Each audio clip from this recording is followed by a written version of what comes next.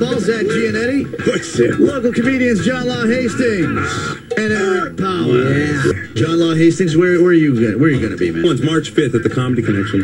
March fifth at the Comedy Connection. That's the place. And uh, you, you, you, you were you were telling us you were just telling us off the air about uh, Oh, my your, your God. trip through uh, the drive-through at Dunkin' Donuts. You, got you got to you got to tell us.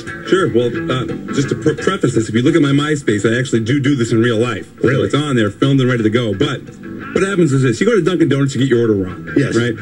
You know, when you pull up, and they have this language there that sounds something like this. Donuts, bagels, muffins today.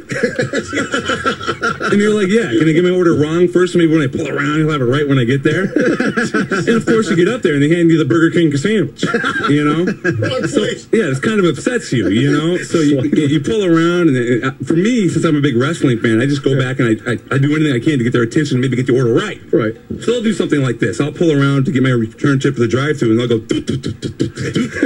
donuts, bagels, muffins today, and I'll say, Ooh, yeah.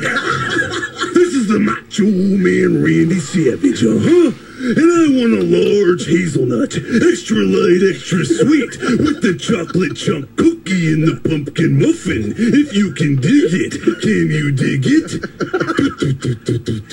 donuts, bagels, muffins today. Yeah, guess you got it. Maybe I'll pull around and maybe I'll be right when I get there. I pull around, and of course, it's not right. Because I know I didn't order a Slim Jim. I mean, really. Snap into it. Yeah. Something wrong with you. Something's wrong. Oh, not only that, but the Hulkster dude, he's gonna rock and roll you and strut and stroll you, brother, on WAAF.com, brother. What you gonna do? Oh man, I lost total control there. Man, Brooke. They're still talking off microphone.